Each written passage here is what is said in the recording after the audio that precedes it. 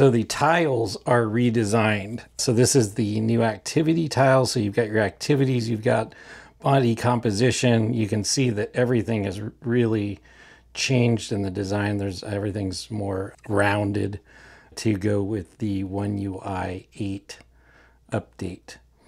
So these are the new tiles here that we're scrolling through.